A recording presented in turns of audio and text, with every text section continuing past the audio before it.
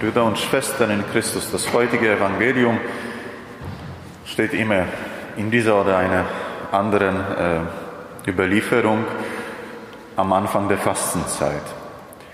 Und zu diesem Evangelium wurden sehr viele Auslegungen geschrieben, schon in der alten Kirche. Und es gibt ganz, ganz genaue und penible Erklärungen, was jeder dieser drei Versuchungen bei Jesus zu bedeuten hat. Wenn ihr es wissen wollt, empfehle ich, die Väter der Kirche zu lesen. Viel mehr Neues gibt es da nicht an Erkenntnissen. Aber es ist doch wichtig zu sehen, was da eigentlich passiert bei Jesus und bei diesem Teufel, der zu ihm kommt.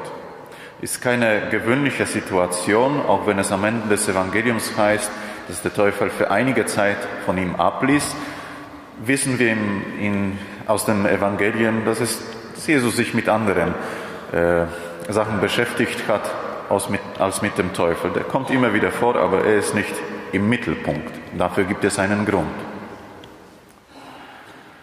Weil wenn man sich die Taktik hier anschaut, die der Teufel anwendet, ist es ziemlich überwältigend. Na, also er weiß ziemlich gut Bescheid.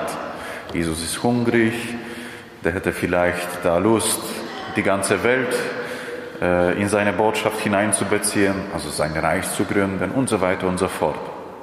Und sehr oft kommt in einem vielleicht dieser Verdacht, dass eben der Böse in meine Gedanken hineinschauen kann. Das kann er nicht, sonst wären wir wirklich arm dran. Gott kann das, er tut es aber nicht. Auf jeden Fall kommt es einem so vor, als ob er sehr viel von uns wüsste, weil er kein dummes Wesen ist, sondern auch intelligent. Und was der Teufel mit uns macht, er beobachtet, wie wir leben, wo wir Schwierigkeiten haben, wo unsere Freuden sind, wo er den Hebel ansetzen kann, wo er die Schraube ein bisschen anziehen kann, damit es für uns kompliziert wird. Und so wirkt er. Aber im Grunde genommen gibt es da nichts Außergewöhnliches. Das kann auch ich, das kann auch, auch, kannst auch du. So klug ist er auch wieder nicht. Aber er macht eine Sache, die uns Menschen seit Anbeginn der Schöpfung immer wieder verfolgt. Und das ist etwas, womit wir alle behaftet sind. Weil der Teufel ist blind. Er ist völlig blind auf das, was vor ihm steht oder wer vor ihm steht. Wer steht vor ihm? Jesus, der Sohn Gottes und Gott selbst. Und der sieht es nicht. Er sieht nicht seine Herrlichkeit, dass der Heilige selbst vor ihm ist, der Einzige, dem die Ehre gebührt, dem die Gottesfurcht gebührt. Das erkennt der Teufel überhaupt nicht und nur deswegen versucht er, Jesus in Versuchung zu führen. Bleibt sowieso erfolglos. Aber das ist auch etwas, was, glaube ich, für die Fastenzeit wesentlich ist. Weil sehr oft nimmt man sich so einiges vor. Also ich für mich, ich habe mich entschlossen, der Fastenzeit aufs Alkohol zu verzichten. Also kein Bier am Abend und solche Sachen und noch ein paar andere Sachen. Also ich bete dann äh, noch zusätzlich ein, ein, ein Teil vom Rosenkranz täglich und so weiter und so fort. Du hast sicher irgendwelche Vorsätze auch. Und sehr oft ist es in mir auch diese Überzeugung, am Ende der Fastenzeit soll ich ein besserer Christ werden, als ich am Anfang, als ich es am Anfang war. Ja, das ist eine falsche Einstellung. Worum geht es in der Fastenzeit? Nicht darum, dass du ein besserer Christ, eine bessere Christin wirst, sondern um etwas ganz anderes. Darum, worum es im Evangelium geht. Und worum geht es heute? Dass man Gott die Ehre gibt und nicht sich selbst oder jemand anderem. Dass man Gott an erster Stelle stellt und nicht irgendwas anderes im eigenen Leben. Weil wir können Gott mit unseren Opfern und Bemühungen nicht wirklich beeindrucken. Wenn du das kannst, komm nach der Messe und erzähl es mir, wie du Gott beeindrucken kannst. Das würde ich gerne wissen. Weil in der ersten Lesung haben wir etwas Wesentliches gehört, was für das Volk Gottes, für das Volk Israel, das auserwählte Volk, so gesehen auch für uns äh, grundlegend ist. Da wird es beschrieben, wenn du gesegnet wirst in deinem Leben und etwas zustande bringst, ob es die Erträge des Feldes sind oder etwas anderes, gib die ersten Erträge dem Herrn und sag dabei, woran du dich erinnerst, was Gott an dir und deinem Volk Gutes getan hat. Gott an erster Stelle. Ihm Raum geben im eigenen Leben, das ist wesentlich. Dazu ein Beispiel aus einer sehr schönen Stadt in Österreich. Aus Graz, da gibt es eine junge Gemeinschaft von Christinnen und Christen, also das ist noch eine katholische Gemeinschaft, wird wahrscheinlich irgendwann auch ökumenisch sein. Aber zurzeit sind sie katholisch, charismatisch und äh, sie wollen beten. Und sie tun das auch. Also junge Leute, die so zwischen 17 und 25, 30 sind, die treffen sich einmal die Woche, um zu beten. Und das ist so, wie wenn junge Leute irgendwo feiern gehen, wird es laut.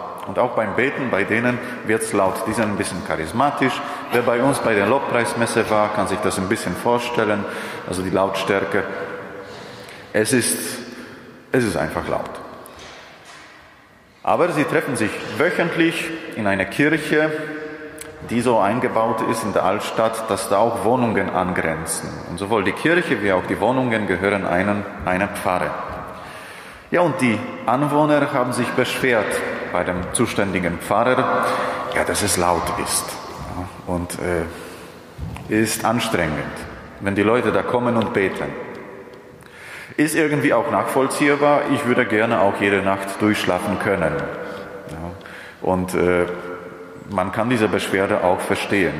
Was ich dann aber nicht verstehen konnte, ist die Reaktion des Pfarrers, der den jungen Leuten versucht hat, dieses Beten auszureden. Er hat gesagt, ja, also vielleicht könnt ihr euch mehr im sozialen und karitativen Bereich einsetzen, weil ja, beten ist schön, aber was bringt das schon, ne? Was ist wichtig und was ist nicht wichtig? Das ist auch etwas, was ich immer wieder höre von Leuten, die sich dem Gebet verschreiben. Es gibt so ziemlich viele in unseren Tagen, die sagen, ich mache das, also ich bete nur und alles andere kommt erst danach, nach dem Gebet. Wir haben die Loreto-Gemeinschaft in Österreich, die Adorei-Bewegung in der Schweiz, die Gebetshäuser in Deutschland, auch in Österreich. Das Gebetshaus Augsburg ist eine ganz starke Gemeinschaft, wo Leute einfach auf ihre Arbeit verzichten, um, also sie verdienen dann normalerweise nichts, oder sind auf Spenden aufgewiesen oder auf die Hilfe Gottes oder was weiß ich oder arbeiten ein bisschen. Aber das Gebet ist das Zentrum. Und man könnte sagen, das ist ja eine unsinnige Einstellung, weil wir als Kirche sind nicht nur dazu berufen, zu beten. Ne? Es gibt auch andere Sachen, die man tun sollte. Also Armen helfen und so weiter. Wichtige Sachen. Aber so wie ich das sehe, überall dort, wo diese Gemeinschaften wirklich das Gebet an erste Stelle stellen, kommt das Soziale und diese Sorge für die Armen auch. Das kommt einfach automatisch, das kommt aus dem Gebet heraus. Und es geht wirklich darum, Gott in die Mitte zu stellen, ohne Kompromisse. Das klingt übertrieben, ist es aber nicht. Wenn du getauft bist, wenn du gefirmt bist, ist es, will ich nicht sagen deine Pflicht, aber es sollte deine Entscheidung sein, ihn in die Mitte deines Lebens zu stellen. Und die Fastenzeit ist eine vorzügliche Gelegenheit, das zu prüfen, ob er wirklich in der Mitte ist oder nicht. Es geht um die Furcht Gottes. Das ist ein schlimmes Wort, klingt im Deutschen nicht so gut, ist es aber auch egal, wie es klingt weil es geht nur um diese eine Sache, ihn in die Mitte zu stellen, nichts mehr. Alles andere wird dann auch nicht zu kurz kommen. Davor brauchst du auch keine Angst zu haben. Diese Angst hatte ich immer. Ich will nicht sagen, dass ich jetzt mein ganzes Leben dem Gebet verschrieben habe, aber ich bete gerne. Und äh, immer mehr wird es mir wichtig und ein Anliegen. Und ich sehe, klar bleibt da einiges auf der Strecke liegen. Aber wenn ich das so genauer anschaue, sind es Dinge, die nicht notwendig sind. Und auch wenn vielleicht das bedeuten sollte, dass du am Sonntag ins Schleudern kommst und das Mittagessen eine halbe Stunde später anfängt oder dass es zu Hause nicht so aufgeräumt ist, weil du der Sehnsucht nach Gebet nachgehst oder der Sorge für die Armen oder einem anderen guten Werk. Ja, was passiert schon, wenn es nicht aufgeräumt ist? Unwichtig. Es gibt in uns immer irgend so, also in mir auf jeden Fall und ich glaube, das gibt es in jedem Menschen, diese Neigung, sich mit wenig zu begnügen. Und Gott will dir und mir mehr schenken. Mehr als du dir das vorstellen kannst, als du dir das wünschen kannst. Und das passiert aber nur, wenn er im Zentrum steht, nicht irgendetwas anderes. Weil andere Dinge saugen aus uns die Lebenskraft aus. Das tun auch Menschen sehr oft. Wenn sie wirklich, wenn du einem Menschen so in die Mitte deines Lebens stehst, dass nur er gilt und wichtig ist, wirst du an diesem Menschen irgendwann zugrunde gehen. Man braucht ein bisschen Rückzug auch für sich. Und bei Gott ist es anders. Ihn kannst du in die Mitte stellen und der beschenkt dich nur mit immer mehr, mit immer größeren. Deswegen ist das, was dem Teufel fehlt, also diese Gottesfurcht und Gotteserkenntnis, etwas sehr Notwendiges für uns heutzutage.